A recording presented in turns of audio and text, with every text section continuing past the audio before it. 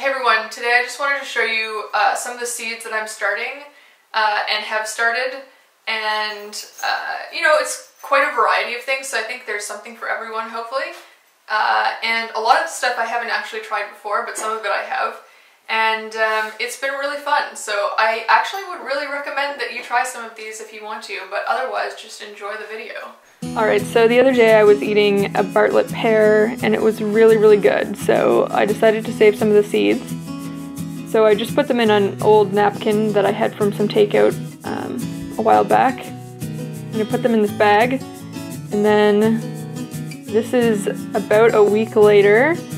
They have started to germinate, and you can kind of tell at the end there that this one has germinated. The other projects I've been working on are all over here by the window. Uh, starting off, we've got this guava. This is a strawberry guava. I got this from a $1 seed store, which is a Montreal company. And I don't know if they're gonna work or not, but uh, I got them and we're giving them a shot. Um, these are kind of interesting because the way that you uh, germinate them is you have to get them out of dormancy by boiling them. So first I boiled the seeds, which was very interesting and there's a clip here. Um, and then I just put them in these little uh, pots that I had here and put some coco peat on top of them, uh, which is one of my preferred seed starting um, media.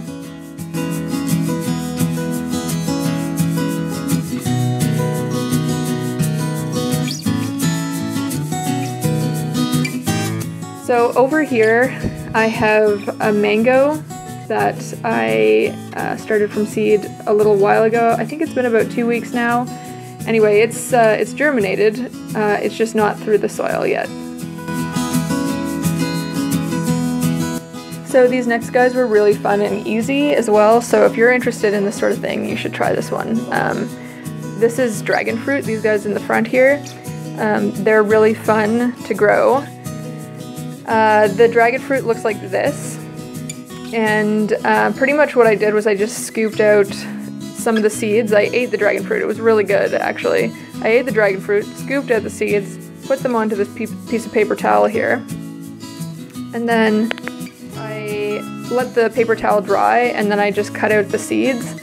Um, so it was just a really easy method of doing this. I saw Plants and Things, Bill B, he did this, and so I just really wanted to try it. So um, here I'm just cutting out the little pieces of paper towel that have the seeds on them.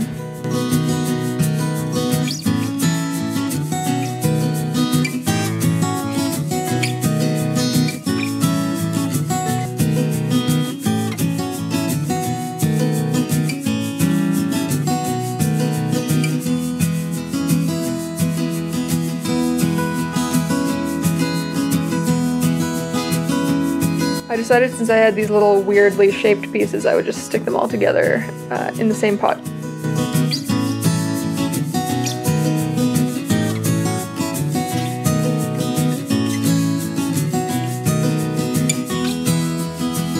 And uh, yeah, I just pretty much placed them on the surface of some coco peat. And uh, this coco peat, I, I moistened it a little bit, so it's it's already wet.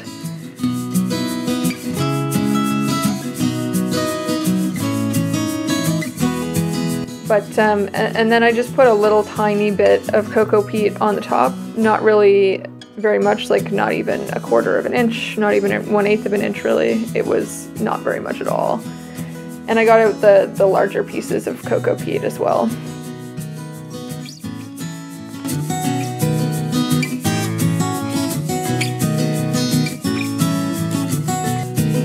After that I just uh, sprayed the pots down with some water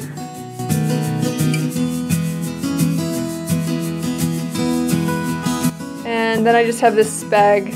I have a bunch of these bags that I just reuse multiple times for seeds. And so they're, you know, like a little bit dirty, but uh, what can you do? And I usually just uh, fill them up with breath air. So after 11 days, this is what I had. Uh, you can sort of see that some uh, growth has happened there. Um, I also sort of decided to open the bag on this day, just mostly because it uh, had developed a little bit of mold there. you know, 13 days later, so this is two days after the last snippet, and you can see that they've grown significantly during this time period.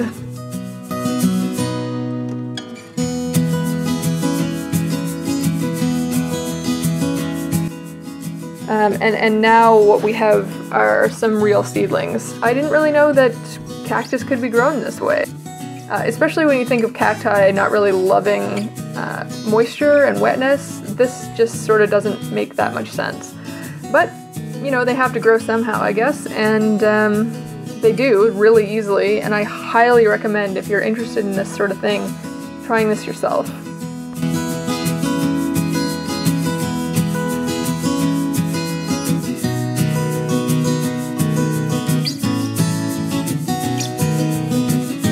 So the next thing is this uh, lemon seedling that I have here. So you can see it's uh, pretty nicely grown now, but to be honest, this took a really long time to grow properly. So here's three weeks after planting. It took forever to germinate. Um, and then three days after that, it really hasn't made much progress. Uh, six days later, uh, now it's starting to speed up a little bit. It seems like it's kind of an exponential growth because um, it really took forever to actually pop through the soil. Um, and, and with the, the lemon seed, the most important thing that I can tell you if you're intending to do this yourself is that you really need to peel the lemon seed, otherwise this is going to take like a year. Because um, the lemon seed, it's, it's covered in this coating and it just can't get through it otherwise brief mention, this ficus that I have been rooting, uh, pretty much I just put it into this pot and it's been fine. It's been about two months that it's been in there. It hasn't grown at all, but I assume it has some roots at this point since it doesn't look dead. So that's kind of interesting. The next thing is um, this other pot. This is also citrus. So it's a mixture of uh, kaffir lime, and these I also got from the $1 seed store in Montreal. I don't know if they're going to germinate. Uh, they did get a little bit dried out on the way, but um, just in case, I also did a grapefruit. Um, I haven't had very much luck with grapefruit in the past, but I figured I'd give it another shot. So pretty much just opened the grapefruit, took out the biggest seed. You probably want to do more than one seed, but this one just happened to only have one seed.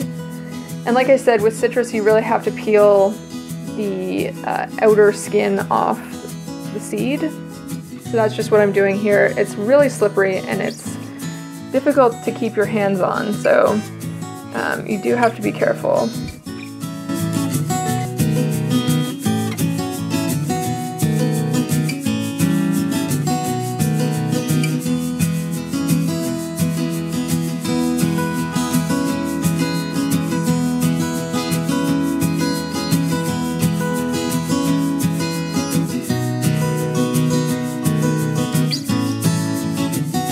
Once you have a peeled seed, it should look like this. I would be kind of careful not to damage the seed as you're peeling it, just because it, it needs to be whole, effectively, unlike other things. It, it doesn't really like to be scarred. So that pretty much sums up the uh, germinations that I have going on on the windowsill.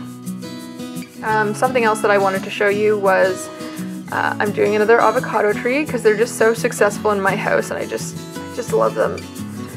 So again, just opening up the avocado, just like with the grapefruit, and um, you know, you, you, need to get some of this goop off um, so that you can handle this properly. But this is the absolute best way to grow an avocado. You, you have to peel the skin off.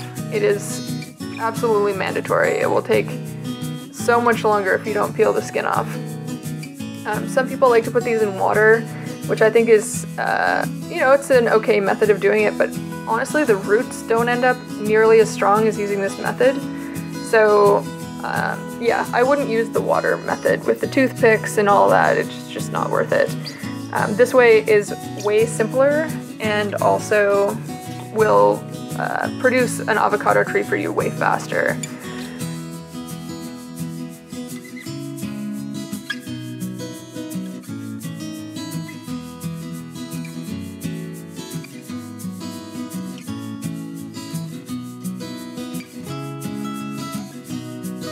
So the only thing to note when planting is that there is a right side up, and it's just the more pointy side. I've decided to plant this avocado seed in with my lantana just because I know that I, I will end up watering it because the lantana needs a lot of water. Alright everyone, I hope you enjoyed the video. Thank you so much for watching. Uh, I'll see you next week. Bada bing, bada boom!